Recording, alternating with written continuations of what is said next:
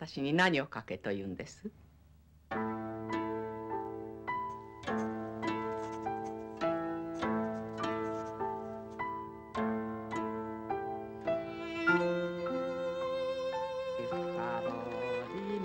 たぼり仮眠せ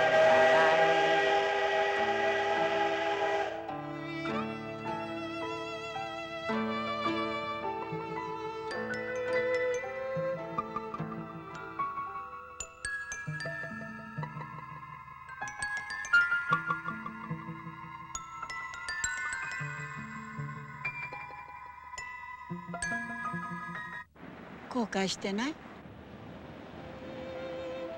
何を？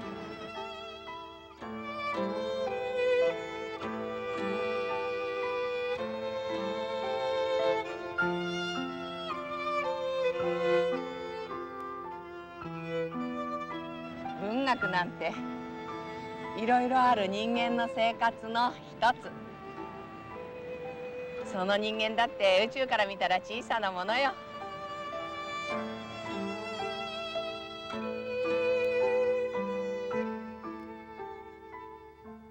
私は一つ人間の第七巻に響くような詩を書いてやりましょう。